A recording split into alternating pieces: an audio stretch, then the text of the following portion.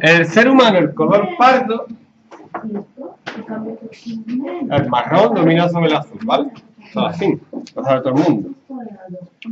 Una pareja en la que el hombre tiene los ojos pardos y la mujer los ojos azules, el hombre de ojos pardos puede tener dos, dos genotipos. Puede ser así, puro, o puede ser híbrido.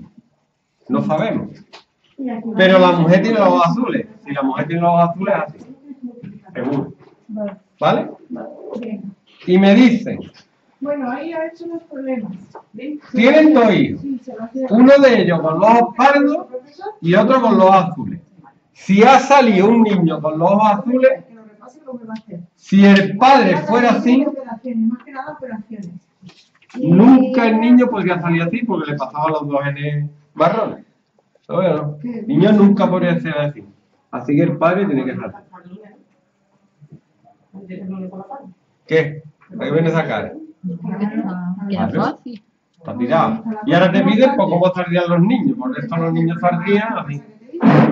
No, no comas a los niños, tienes la probabilidad de, La probabilidad de que por el tercer hijo sea, 50% marrón y 50% azul.